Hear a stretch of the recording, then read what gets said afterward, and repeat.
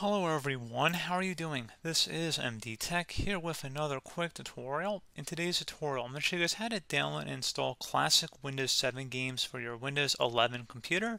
So you may have noticed with Windows 8 and Windows 10, they no longer include the same kind of games that were available in earlier versions of Windows. Well, today I'm going to show you guys a free utility that will download these games onto your computer that very closely mirror or if not the same as the Windows 7 games. So I mean they're going to look incredibly similar or if not the same like I said. So we're going to go ahead and jump right into it and we're going to start off by opening up a web browser. Doesn't matter which one but we're going to open up Microsoft Edge for today's tutorial and you're going to go ahead and paste a link I'm going to have in the description of the video here guys for our Windows 7 games.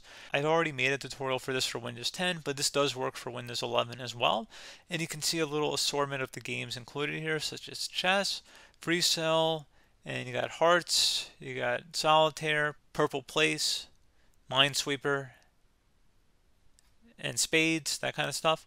So I'm going to go ahead and select the Download Games button here. about 147 megabyte download, so it might take a moment or two to download depending on your internet speed.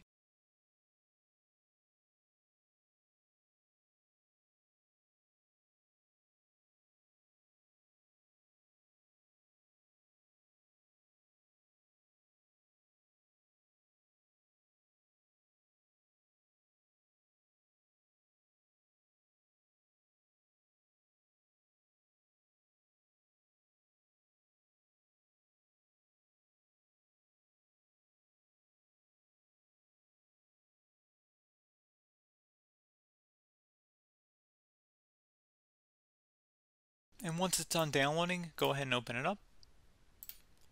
And run the setup file here. Select run.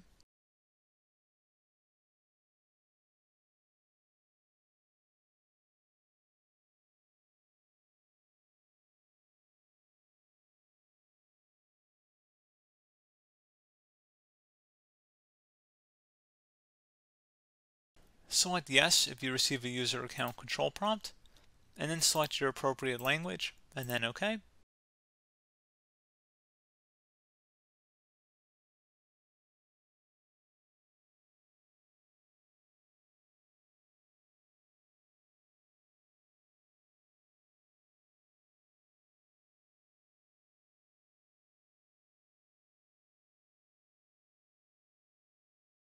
and then select next if you want to customize which games are installed, you can at this point. It doesn't really change the size of the file too much, but again, you definitely can go through here and then select install.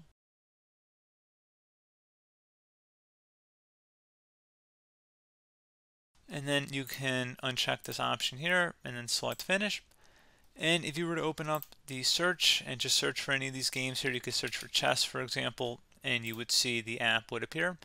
It's just one example.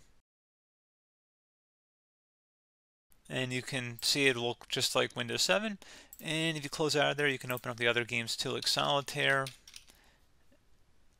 And you can do Hearts and all the other games in there too. So I think we got the point across.